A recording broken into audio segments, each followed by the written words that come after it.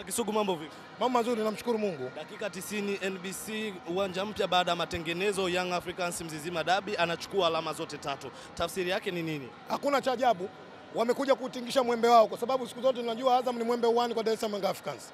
Kilichotokea watu wa mpira wote waliamini ndio ambacho kinachotokea. Kila mmoja alikuja aliamini kwamba Azam anakuja kufungwa Dar es Salaam Africans. Ni mechi ya saba, amepata suluhu moja, amefungwa mechi sita, si ndio?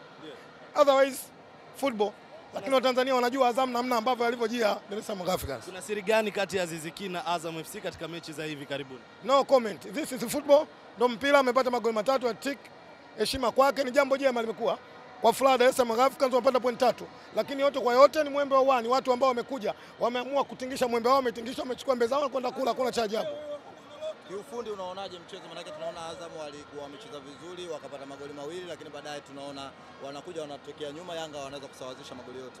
Mchezo ulikuwa mzuri kiufundi, ulikuwa na ushindani mkubwa, lakini yote kama nimesema kwamba Azam wamezidiwa.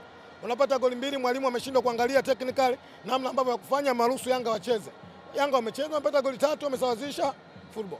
Pengine kutakuwa na utofauti mkubwa sana katika mechi zote za Faisal msimu huu. Amecheza vizuri sana. Unadhani nini hasa tafsiri yake baada ya Faisal kuonyesha kiwango kikubwa siku ya leo? Naamini kwamba Faisal ni mchezaji mzuri, bado umri wake ni mdogo, taifa linamtegemea. Hivi vitu ambavyo anapitia changamoto tu, ndio football ilivyo. Siku zote naamini kwamba football hakuna rafiki wa, wa muda mrefu wala hakuna mgomvi wa muda mrefu. Dakika mbili anakuzomea, dakika tatu anakushangilia. This is football. Ni mchezaji mzuri, ni mchezaji ambaye unahitaji kumpa moyo, lakini hivi vinavyotokea ni njia ya mpito ambao mchezaji wote vinaweza kumtokea.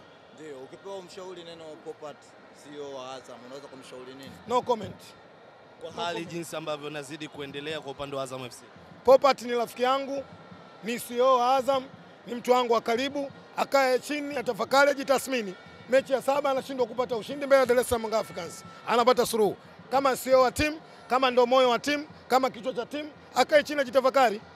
Mechi ya saba blaza, unashindwa kupata matokeo, unapata suluhu. Yeye kama CEO akae atafakari kuna nini, na mechi zote akiangalia stori yake na rekodi zake. Azam anaanza kutangulia kupata magoli, Yanga anakuja anafanyaje? Anachomoa. Kwa hiyo kama sio akae chini, ajitafakari. Kwa dakika 90 kosa liko wapi? Kwa mwalimu au kwa wachezaji ambao walitangulia goli mbili wakashindwa kuzuia? This is football. Mpira siku zote ni mchezo wa makosa. Atakayefanya makosa ndio yule ambaye atakayefanyaje, atakayeadhibiwa. Naamini kwamba walijitahidi, walipress, walicheza vizuri, lakini siwezi kujua nini ambacho kimetokea, lakini mwisho wa siku mpira una matokeo. Haya ni matokeo ya mpira. Shukrani sana. Asante sana.